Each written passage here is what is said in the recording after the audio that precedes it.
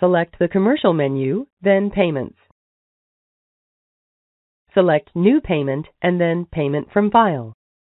Please note that the supported file types in the Payment from File option are either a single batch NACHA file containing an SEC class code of either PPD or CCD, or a five-column CSV file.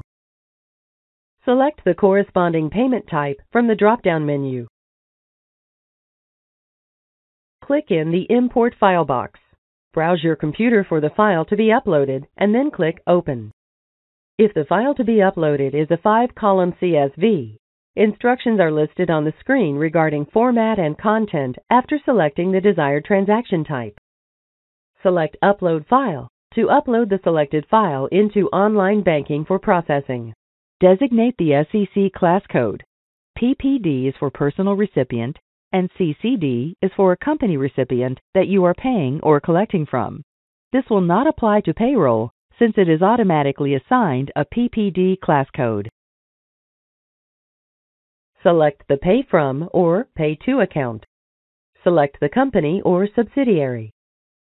Designate the effective date of the file. Click Draft or Approve depending on your user entitlement.